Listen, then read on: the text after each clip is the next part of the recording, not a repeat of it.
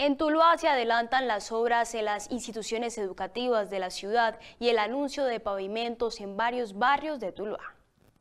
Arrancan casi 9.000 metros, un poquito más, 9.000 metros cuadrados de pavimento en la Comuna 8, una comuna que hacía muchos años no se le invertía un peso.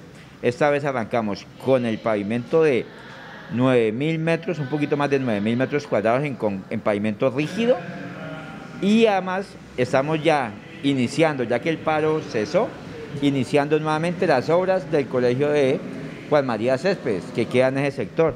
Entonces son dos super obras que aspiramos a entregar. Una este año, en cuatro meses los pavimentos, y la otra, eh, más o menos a mediados del año entrante, un colegio dotado de todo lo que los jóvenes de ese sector necesitan. Estas obras desde el 2020 se vienen priorizando en varias comunas de Tuluá, con el objetivo de tener mayor respuesta de seguridad, al igual que calidad de vida de los habitantes del municipio, generando espacios de progreso en la región. El conocimiento de la ciudad que tenemos nosotros.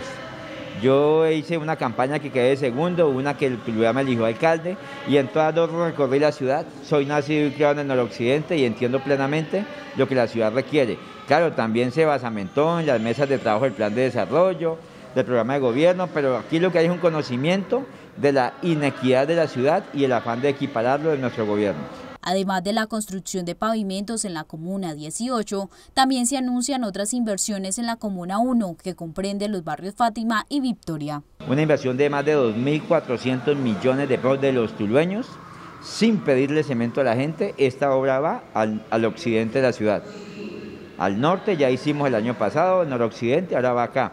También hemos hecho en el sur, en el oriente, y arranca una importante obra que les anunciaré, ya se licitó, ya se adjudicó, en el lado del barrio Victoria y Fátima, muy importante, un sector muy tradicional que requiere la inversión para mejorar la movilidad de la gente. Si te gustó esta nota de CNS Noticias Tuluá, no olvides suscribirte a nuestro canal de YouTube Teluro Producciones y activar la campana para que te lleguen todas las notificaciones.